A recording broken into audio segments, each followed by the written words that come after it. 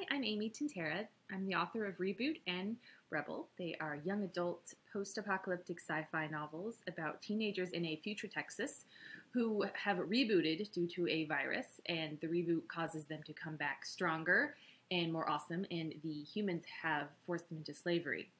My main character, Ren, was dead for 178 minutes, which is the longest anyone has ever been dead, so she's the best reboot ever. And she has to train the worst reboot ever, Callum, who was only dead for 22 minutes. So, a fun fact about Reboot is that it's actually my ninth book I ever wrote. I wrote six books before I graduated from high school, uh, McNeil High School in Austin, Texas, actually. And uh, then I wrote two more a little later in my 20s. I didn't write much in college because I was very busy. Um, but they were all bad. All eight of them were pretty terrible.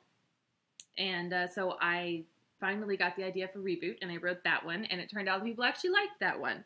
So I always tell people, especially teenagers who write, that they should never give up because the more books that you write, the better that you get. And everyone always thinks that it's just an accomplishment to finish a book, and it really is. It's really an accomplishment to finish writing something, but it's for me, I had to write so many books before I got one that was worth publishing. And so I always want to tell people that even if you don't think you're good enough, you are. You just have to keep practicing.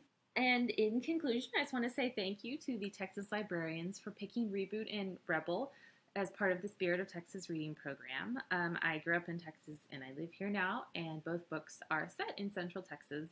So I was thrilled to be picked as part of the program, and I hope that if you are reading the books that you enjoy them. And I also have a new series starting in 2016 called Ruined. I get I really like our titles, I guess. I don't know. It's it's a whole different world. It's a fantasy series and it'll be starting in summer 2016, so I hope you will check that one out as well.